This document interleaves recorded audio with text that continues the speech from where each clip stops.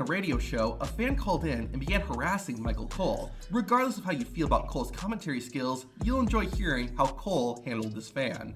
I wish Taz was doing the show solo. Hey, listen, Taz do the li- show. hey, listen, kid.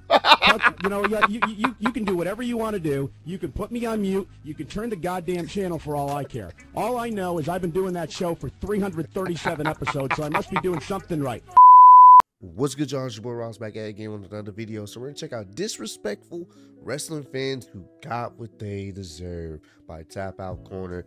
Hey, some of y'all can pay your money to a wrestling show and think, you know what? I can say what I want. I can do what I want. Hell, if I feel like jumping the barricade, I can do that and uh, attack a wrestler or maybe show a wrestler my love and appreciation by jumping over a barricade or whatever the case may be. For some of y'all that feel like because you paid your money, you can do that. I hate to be the bearer of bad news, but you can't. And if you do do some of these things, get disrespectful in the crowd, jump the barricade, attack a wrestler, or get a little extra touchy feely with the female wrestlers, there's a good chance you may catch the beats and or be charged and kicked out the show and permanently banned. So we're gonna check out some of these instances instances where uh, wrestling fans get a little bit too disrespectful and they may end up catching some beats or catching some type of repercussions, man. I always say this, it's cool. You you worked hard for the seats that you got. You, you know, you uh, spent your hard-earned money on wherever you're sitting at. That's cool to enjoy the show, but it does not give you the right to be disrespectful at these shows, no matter how much money you paid for the seats. So let's get right into this one. It should be a good one, man. One of the darkest and saddest days in wrestling was when Eddie Guerrero passed away in For sure. 2005. Eddie was Rest just 38 Eddie, man. years old and had wrestled only five days before his death. While WWE did host their own tribute shows, many other wrestling companies paid their respects too. This included the Philadelphia-based Combat Zone Uh-huh. Wrestling. Combat Zone was performing the 10 bell salute for Guerrero, a tradition whenever a wrestler passes away. For sure. Everyone remained silent and respectful. I think I've seen this except for one person. Yeah. Yeah.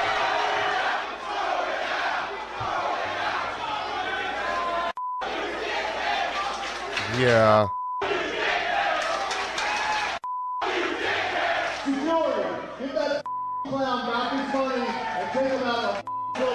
Yeah, man. People like that, like I said, you can pay whatever you want to pay to get to whatever venue or event or whatever the case may be. But if you see someone doing this, you know, obviously Eddie was beloved by not just people, fans of WWE, but just wrestling in general. And they're doing a 10 bell salute, and you're doing that to try to be edgy and cool. No, man. Give him his money back. Get him the hell up out of there, man. Sometimes it's not what Get fans outta say that's man. disrespectful, but what they do. The masked luchador La Parca was wrestling when a fan tried to take his mask. Parca gave the would-be thief exactly what he deserved. Uh oh. LA Park y le da un golpe Oh, en la cara en el yeah. rostro al aficionado, Josué. I'll give this next fan popped him right in his face as he deserved. Love to see it.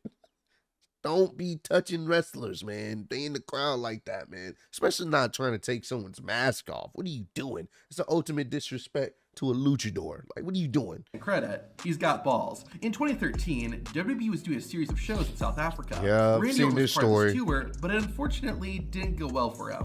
During one event, a young man managed to sneak his way into the ring. Yeah. The fan was an aspiring wrestler and wanted to get signed by WWE. Apparently, he thought sneaking into the ring and low blowing the Apex Predator was the way to do it. Uh. Randy assumed it was his opponent, but the second he realized it was some fan, the Viper got dead serious. Oh, the yeah. Fan was taken away by security, but Orton made sure to get some payback by kicking the man in the face. This resulted in the intruder getting a black eye, which is honestly a lot better than what could have happened to him. Sometimes you Yep. We've seen that incident on, uh, I think, a few videos of that that particular young uh, gentleman really trying to, uh, really trying to get his moment. Randy Orton could have legitimately did some more damage to that guy if security and other personnel weren't there. Not only would you have not been in WWE, you probably would have been in the hospital for catching the beats from the uh, the goat himself. You don't need to throw a single fist to put a disrespectful fan in their place, as demonstrated by Io Shirai. Oh yeah, yeah. In And then she- Then she hit the. oh man, she hit the splits on him to stretch out. Watch this. I'm Japanese, bitch. Ooh, in you see all that? Imagine getting disrespected and she split right in front of you, knowing you'll never be able to get that. That's the ultimate disrespect. Sami Zayn was in Argentina on a WWE tour. While traveling, a group of fans started following Zayn around. Sami had his guide tell the fans to stop following him, but the fans ignored the guide's request. Sami then decided to talk to them using the King's English. Can you get the away from me, please? Wow. In 1997, Kevin Nash, Scott Hall, and Syxx Don't beat aka those X-Pac, people, man. made an appearance at a spring break event hosted by MTV. While on stage, a spectator started throwing rocks at the trio. When the security wouldn't do anything about it, Nash took matters into his own hands and took the fan to the ground. I think he stopped throwing rocks after that. Oh. Get him Oh, out of here. Get him out of here. When the show's over, we want, we want to press charges. We'll come find you. oh, April bro, you saw how fast he got over there. Fan didn't know what to do. Once again, don't be that. Don't be that guy, man. Why are you throwing rocks at people? What are you doing? In 1999, the legendary Rick Rude died at the age of 40 due to heart failure. While Rude was a WCW wrestler at the time, Damn. the entire wrestling community mourned his death. Well, everyone except one fan. At an ECW event, they had a moment of silence followed by a 10 bell salute. Some fan in the front row decided to interrupt the salute, and all heck broke loose. Of course. You claim to be a wrestling fan? You buy a front row ticket Uh-huh. and then you sit on your fat ass while we're trying to pay respect? You should be ashamed of yourself. I can't believe you actually gave birth to something like this. The owner of ECW, Paul Heyman, then came out and did one Yeah. better. Here is double your money back. Get the out of here. Yep, seen One of the most before. hated WWE commentators of all time is Michael Cole. For a long while, Cole had the unfortunate task of promoting whatever WWE was pushing, whether it be their mobile app, the WWE network, or Uh-huh. something else. While doing a radio show, a fan called in and began harassing Michael Cole. Regardless of how you feel about Cole's commentary skills, you'll enjoy hearing how Cole handled this fan.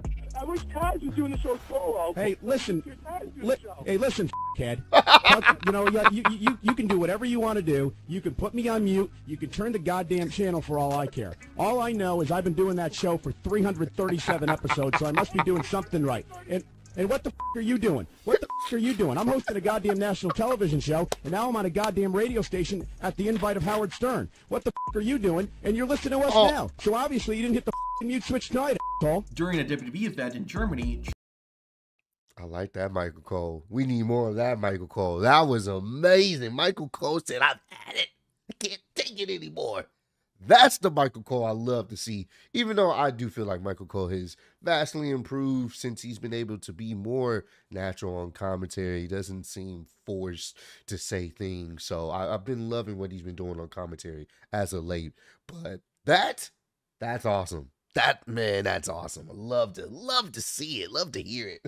Triple H is taking on Stone Cold Steve Austin. The game and the Rattlesnake were putting on Yup. a great show. Classic- when a fan suddenly classic, got into the ring, uh, Triple. H had none of it. It instantly made the fan Yup. regret getting inside Bah! the squared circle. Even the referee joined in on the Yup. attack. The fan was eventually taken out by security, Yup. but he Bro. left with an experience he definitely. Hey, and that's how you do it.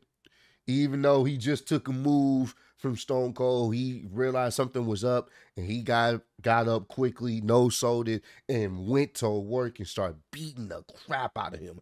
As he should. This is a very infamous clip, very in, infamous uh uh situation that's happened in the past. We've seen it so many times, but it just shows that these guys, you know, they you know they care for each other in the ring for the most part, you know, and they're they're there to sell an image of they hate each other. But when someone gets in that ring that's not supposed to be there, it's always good to know that that person has your back and will take care of business. And Triple H, you may not have liked them back then. Some of y'all may not even like them now, but you can't deny. You got to give respect to a man that will literally watch your back because Stone Cold didn't know. He could have had a weapon on him. Didn't matter. Triple H took care of the problem. definitely won't forget. This wasn't Triple H's last run-in with a fan either. On an episode of Raw, the game had just finished a match with the Big Show. Afterward, Triple H and Stephanie were confronted by Linda McMahon. Uh-huh. However, the King of Kings had to deal with a rogue fan first. Yep. Yep. And they had to they had to cut. they had to like pretend, especially people on commentary like JR and the King, they they had to pretend nothing was happening. And Linda's trying to pretend like, you know, just like what the hell's going on. But once again, Triple H went into went into protector mode and started giving that fan the beats.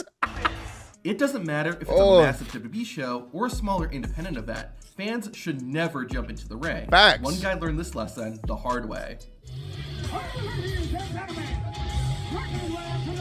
what was that, bro? Why would he do that?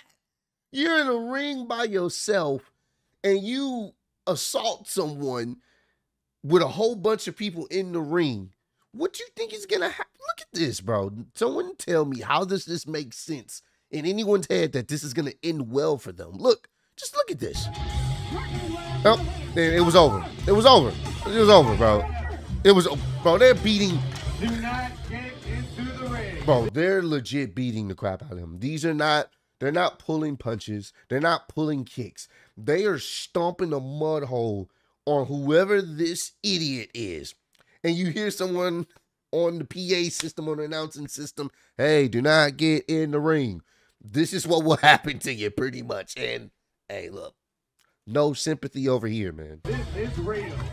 He said this is real, bro. They are beating the crap out of him. Yo. He said, no, this was real, bro. And no, they really beat the shit out of him. And now he's getting escorted out. Stupid. During a ladder match between Eddie Guerrero Oh, and we've Rob Van Dam, one. a fan thought it'd be fun to knock Eddie off the ladder. Latino Heat gave the fan exactly what he deserved. Yep, infamous uh, segment. He, man, he ball. But Chris Jericho is not someone you want to make mad.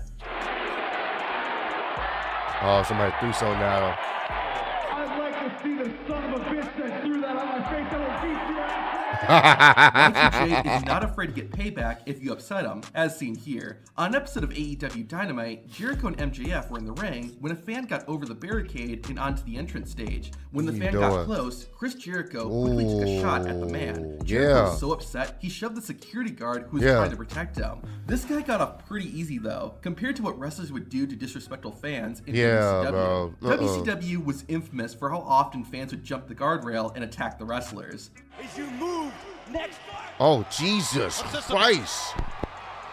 Jesus Christ, bro. One incident saw a fan attempt to ruin one of the biggest moments in wrestling history. At the Bash at the Beach 1996 pay per view, Hulk Hogan turned heel and created the New World Order Uh-huh. with Kevin Nash and Scott Hall. It was an impactful moment, but a fan tried to steal the spotlight. A man in the crowd got in the ring, but was quickly taken down by Kevin Nash and Scott Hall. This wouldn't be the last time WCW fans tried to mess with Jesus, shows. bro. During a cruiserweight match, a fan rushed the ring, but was taken out by the This is how you know boys was getting really mad at these guys. They are literally doing whatever they can to get their hands on them as fans, and they're willing to get the beats. And every time they're catching the beats, it's crazy. referee. Smallest referee in the world just took him down. How tough is that guy? They're not kidding. In another Jeez. incident, Macho Man Randy Savage was in the process of beating down Kevin Nash when a nut from the crowd got in the ring. Oh my goodness. Bro, what was that, bro? On here. Bro, bro. How this next fan It's left so stupid out here trying to.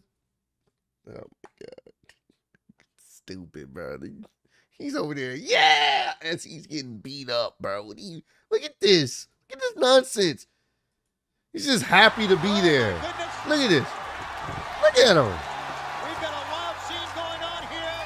Look at him, bro. How this next fan left the arena alive is beyond me. Bret Hart and the late Jim Neidhart were honored at the 2019 WWE Hall of Fame for their accomplishments as the Hart Foundation. Bret was Uh-huh. accompanied by his niece and Jim Neidhart's daughter, Natalya. While giving a speech, Bret was suddenly Yup. jumped by a fan. Seen this one before. Yeah, boys start beating the crap out of him, as they should have. The intruder was quickly subdued, and as he was taken away, WWE Yep. wrestler Dash Wilder Yep. quick but hard shot that knocked the man out. But Good. what happened to that fan after he was taken away, and what is he doing today? To find out, watch this video. Hey, we may have to check that one out next, man. See what happened to some of these degenerates out there. What happened to them after they went in for business for themselves and started attacking wrestlers or whatnot. But yeah, man, this was a uh, um obviously very interesting video. Once again, to all you paying patrons out there, patrons out there or whatnot, please just stay in your seats. Don't throw anything. You know, this is a different time in wrestling. So to throw in the trash and stuff, don't do that, man. Don't be disrespecting the wrestlers. Don't disrespect the wrestling business as a whole by thinking you can jump that barricade and do what you want. Because we saw just in that independent company, they beat the crap out of this guy. There's like at least six, seven, eight wrestlers punching and kicking as hard as they can at that individual. And they deserve it because you don't do that. You don't do that. So comment down below. Let me know if you guys want me to check out what happened to the most infamous WWE fans. I definitely want to check that out to see what happened to some of these fans that went rogue. Like, where are they now? Have they changed their ways? Have they learned from their mistakes? Let me know if that should be my next video. I'll definitely check it out for you guys. But I appreciate all the love and support you guys showing on channel. Road to 150k, and I'm still your undisputed YouTube wrestling champion of the world. Appreciate y'all kicking me. See you on the next one. Peace.